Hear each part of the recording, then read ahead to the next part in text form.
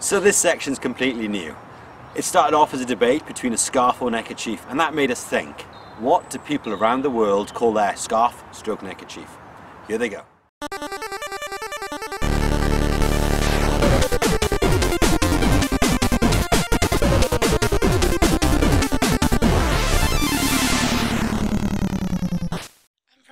Australia. And, and here we call this a. I am from Indonesia. We, we call this a kacu. I'm from Thailand. We call this a papukor. I'm from Armenia, and this is Vuskap. In Uganda, we call it akatambala. I'm from Hungary, and we call this a cherkisnyakendu. I'm from Austria, and I call this a Halstuch. Hallo, ich bin der Christoph aus Deutschland und wir nennen das hier Halstuch. I'm from East Lancs and we call it a necker. scarves.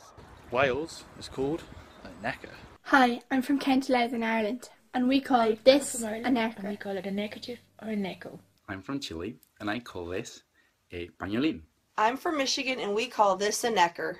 Hi, I'm Marlissa from Canada, and I call this a necker. I'm from California and this is a neckerchief.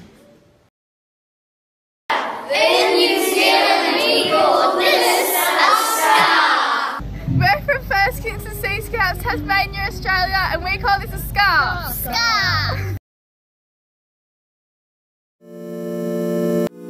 Hi, so E Scoutadelic, the YouTube channel just for you. I'm Mike. We've got a lot packed in.